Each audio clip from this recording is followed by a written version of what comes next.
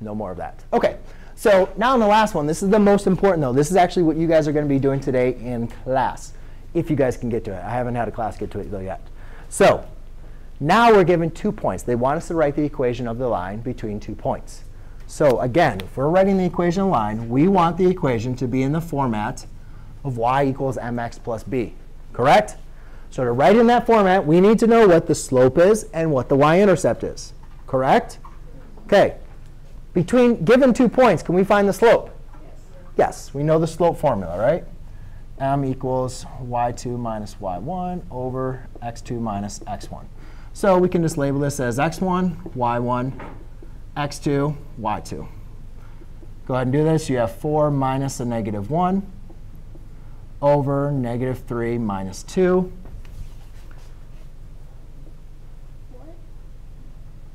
Yeah. What?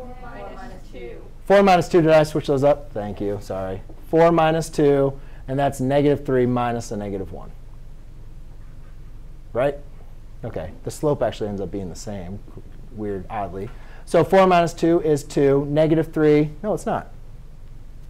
Negative 3 minus 1, right? Negative 3 minus a negative 1. That becomes a negative 2. OK, so now we have the slope, right? Now the next thing we need to do is figure out what the y-intercept is. So we could go back and use the point slope form.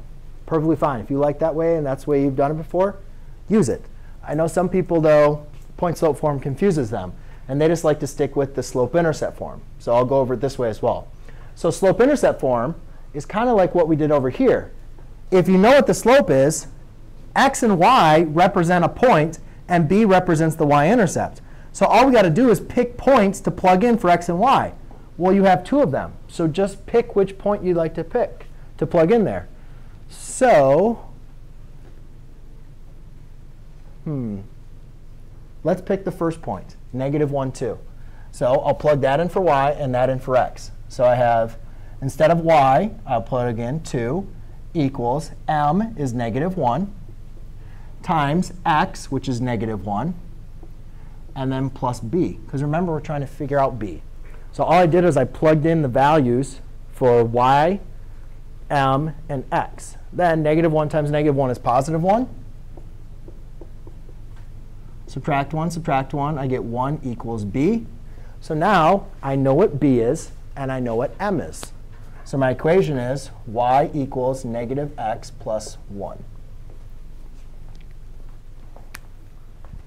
Yes, did I make a mistake again? No, I was just OK.